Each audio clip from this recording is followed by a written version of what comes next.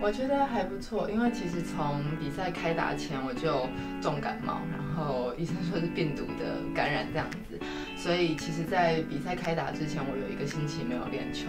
然后很开心，就是其实一开始第一轮也不知道自己的身体状况没有办法，然后很开心，我们一路连赢了三场，然后现在到了四强，我觉得我们的状况，我的身体慢慢恢复，然后我觉得我们的状况也越来越好，这样子。他感冒药水有效果吗？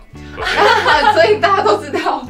感冒药水有效果啊，因为我觉得他喝下去就比较不会咳了，不然的话他晚上睡觉的时候其实是就是对，就一躺平的时候会咳得很严重，然后半夜也会咳到吵到他，嗯，所以他就所以我当然要盯着我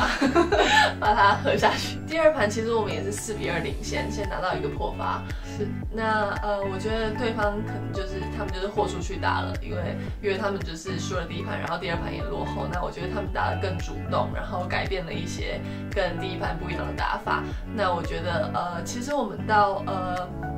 就是四比四、四比五的时候，我们已经适应他们就是改变的打法。可惜就是在关键分没有差点运气，我觉得。